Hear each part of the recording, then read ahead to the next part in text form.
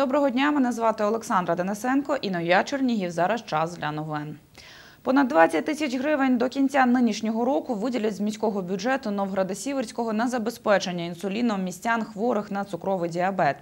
Про це сказав міський голова Олег Бондаренко.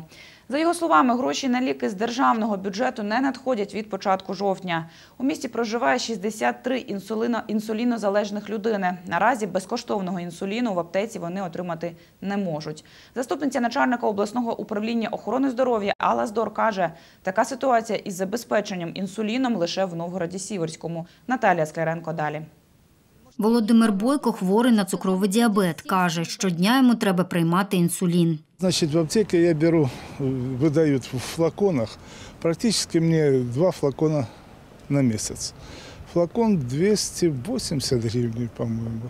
Чоловік отримував препарат інсуліну в Новгород-Сіверській центральній аптеці номер 43 безкоштовно. Два місяці тому, пригадує Володимир, почались проблеми. Нам на руки дают бумажный рецепт. С этим рецептом мы обращаемся в аптеку. И нам в аптеке говорят, что денег нет, извините, надо подождать. Раньше такого не было.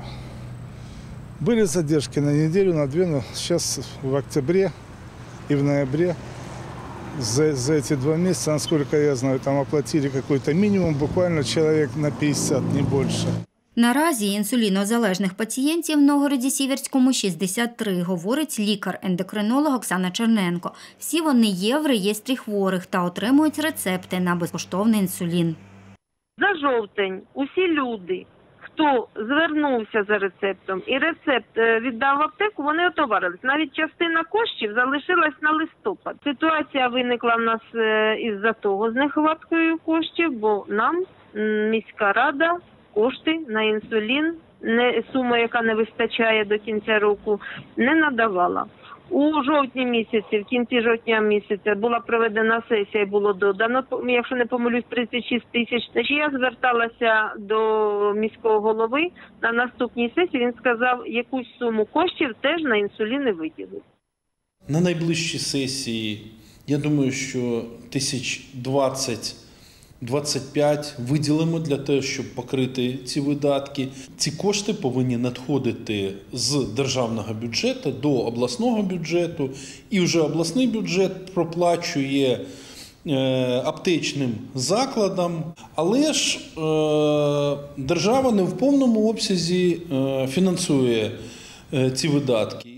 Олег Бондаренко каже, депутати міської ради написали звернення до Кабміну Чернігівської обласної ради та облдержадміністрації щодо виділення додаткових грошей з держбюджету для забезпечення препаратами інсуліну хворих на цукровий діабет. Заступниця начальника охорони здоров'я облдержадміністрації Алла Здор сказала, цього року держава профінансувала потребу в інсуліні на 55%. На 2019 рік сума цільових коштів становила 30 мільйонів 658,5 тисяч гривень. Інші кошти, яких не вистачає, мали ми пис- писали звернення до всіх голів районних державних адміністрацій, міських голів, селищних голів стосовно долучення до цієї проблеми виділення додаткових коштів. Всі райони абсолютно всі всі без винятку, крім новгород сіверського постійно кожного місяця якусь енну суму вони додавали. Але єдиний новгород сіверський написав, що в них немає можливості фінансової можливості додати кошти Наталія Скляренко, Віталій Коровко. Новини на Суспільному. Коли вімкнуть газ мешканцям 13 сіл Ніжинського району, які через порив труби у селі Синдаревське п'ятий день без газопостачання, невідомо. Про це сказав головний інженер компанії «Чернігівгаз» Євгеній Денисенко. Зараз підприємство проводить відновлювальні роботи за власні кошти, але через складність робіт, сказав Євгеній Денисенко, фахівці працюють лише у світлу пору доби.